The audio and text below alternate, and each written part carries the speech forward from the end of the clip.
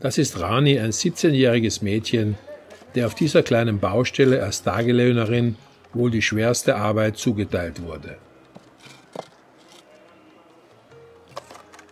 Die acht Ziegel, die sie immer wiederholt und nach oben trägt, sind eine sichtlich schwere Last, viel zu viel für dieses Mädchen. In Indien ist es leider gang und gäbe, dass die Frauen meist körperlich schwerere Arbeiten verrichten müssen als die Männer. Rani kommt aus einer armen, kinderreichen Familie, konnte nur die Grundschule besuchen, denn sie musste schon sehr jung mithelfen, ihre Geschwister zu ernähren.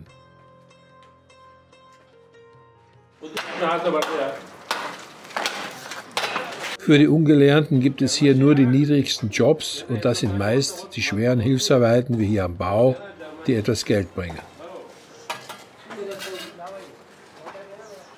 Heute trägt Rani Ziegel, morgen schaufelt sie vielleicht Sand und Beton auf einer anderen Baustelle oder arbeitet im Straßenbau.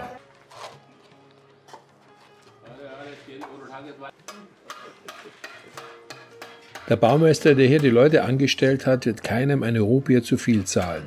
Drei Euro pro Tag verdient sich Rani. Das Doppelte gibt es für die Maurer. Die haben dazu noch den leichteren Job.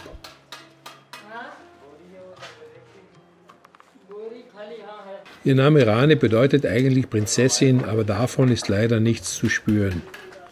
Um ihre Lebensumstände kümmert sich hier niemand, denn es ist das schwere Los von so vielen Menschen, die hier vom Land in die Stadt kommen um hier irgendeine Arbeit zu finden.